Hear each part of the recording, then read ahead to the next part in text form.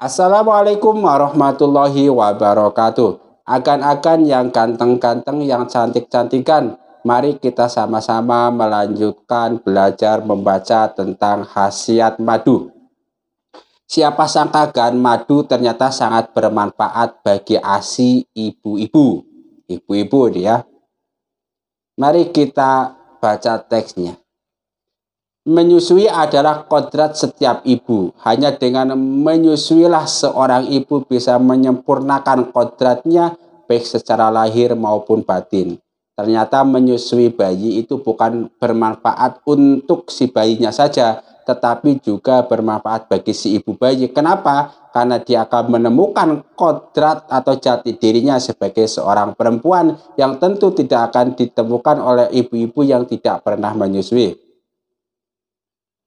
Kesempurnaan kodrat seorang ibu ini tentu saja akan berdampak positif bagi bayi yang disusuinya.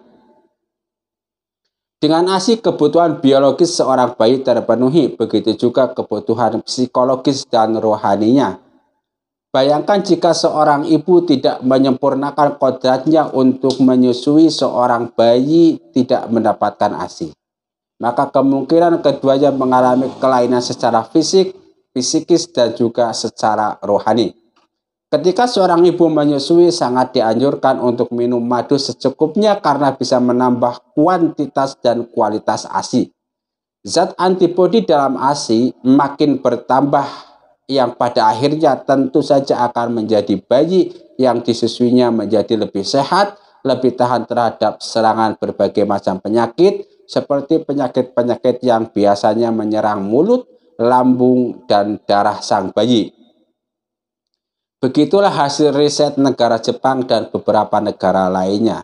Maksudnya gini kan, jadi kalau ibu-ibu kepengin jasmani dan rohaninya sehat, salah satu caranya adalah dengan menyusui anaknya.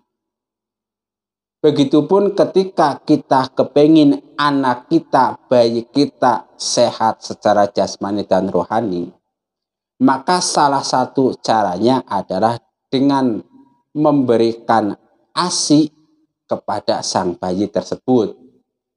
Di sini ditambahkan bagi ibu yang sedang menyusui dianjurkan minum madu. Loh, kenapa?